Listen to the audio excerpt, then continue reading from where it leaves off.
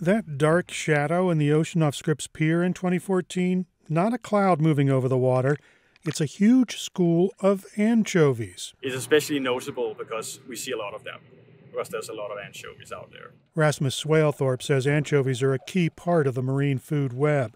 When there are a lot, birds, larger fish, and marine mammals prosper, but numbers sometimes fall precipitously.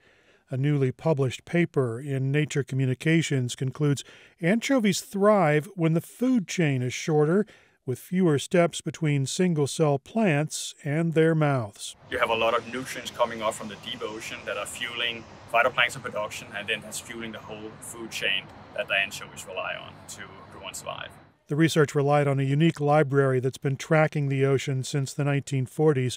CalCOFI has ocean samples that contain plankton and fish larvae, allowing the team to measure populations and ocean conditions between 1960 and 2005. We go through the plankton, we pull out the larval fish, and we identify them as species. So we've been keeping track of over 800 species of fishes since the 19, late 1940s.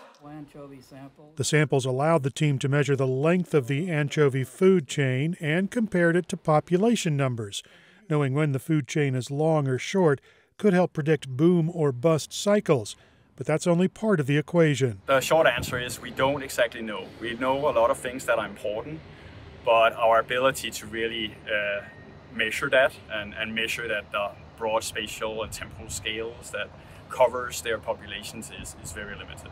Researchers also hope to develop a better understanding of what changes when the food chain gets longer or shorter.